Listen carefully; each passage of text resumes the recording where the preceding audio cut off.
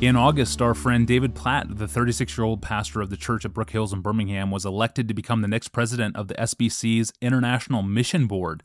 The IMB has 4,800 missionaries spread across the world. And no surprise, we got emails like this one.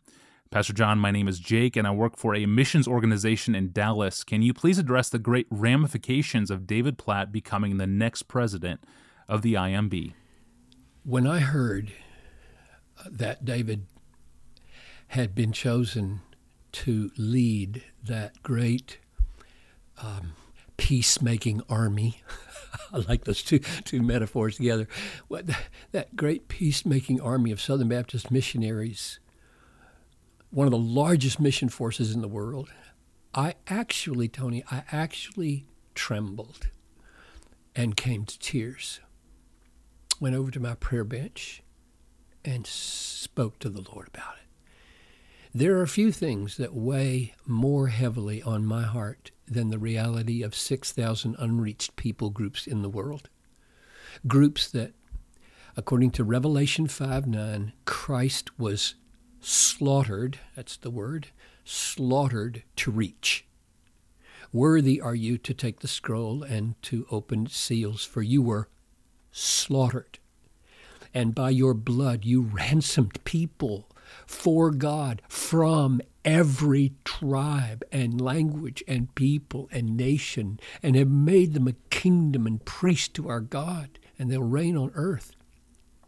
So, by your blood, Lord Jesus, the blood of the Son of God, God's blood, think of it, God's blood poured out to gather a ransomed people from every Muslim and Hindu and Buddhist and Confucian and Sikh and Jewish and atheist and animist people in the world.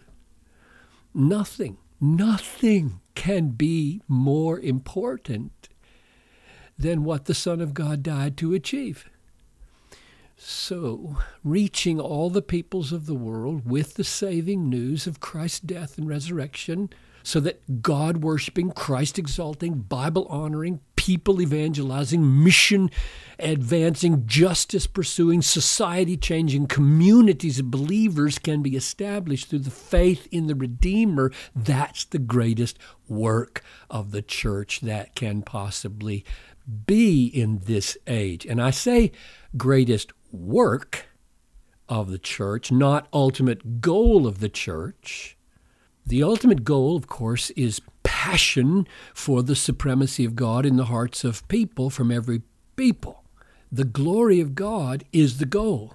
And God is glorified when people are satisfied in Him, but they cannot be satisfied in Him if they don't know Him if they don't know what He's done to rescue them, if they don't know the promises of pleasures forevermore at His right hand. So, world missions, evangelizing the unreached peoples of the world, is the great work of the church.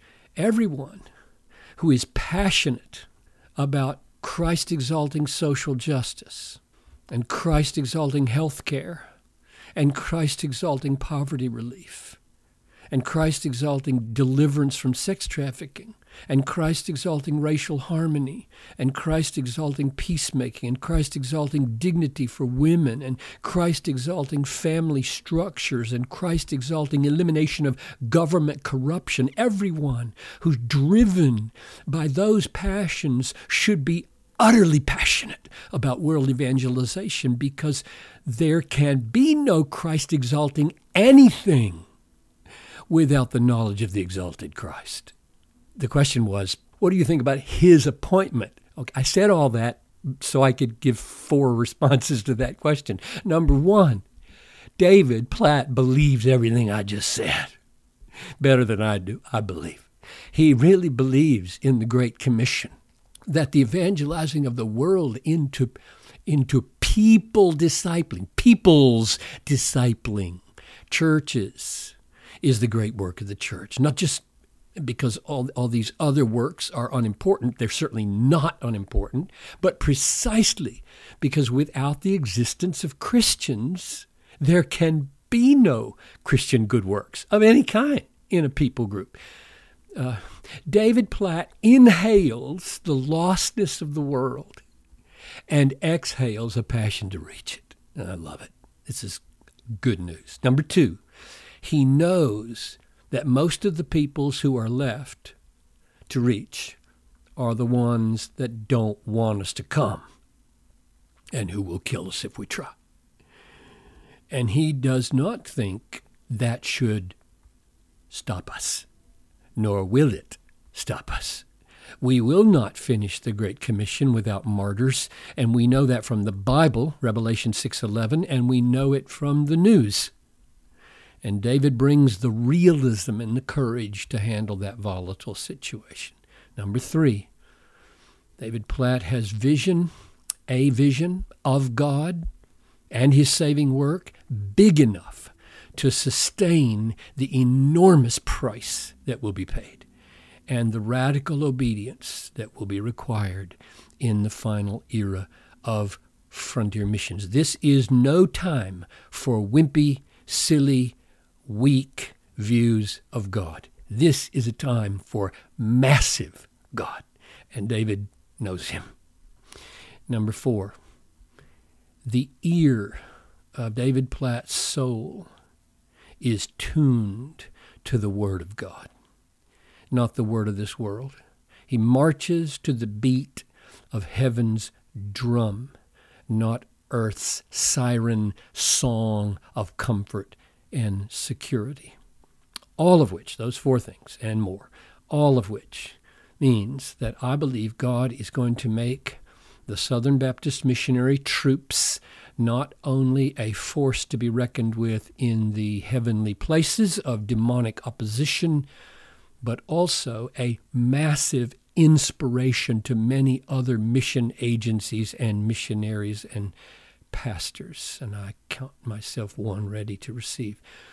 This, this is going to be my prayer that um, his decision and the IMB's decision, and I'm sure his wife's decision, this, this decision will have global God glorifying, mission completing impact of historic scope, all out of proportion to his limitations.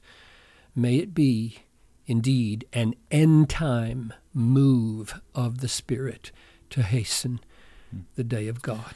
That is sobering, humbling, and hope giving. Thank you, Pastor John. And we will be praying for you, David, if you're listening to this podcast. And we're grateful to God for you and for your gifts, for your family, and for this new role that God has called you to. May He richly bless you in many ways.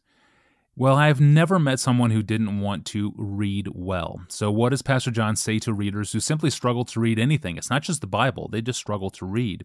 I'll ask him for his counsel tomorrow. I'm your host, Tony Reinke. Thanks for listening to the Ask Pastor John podcast.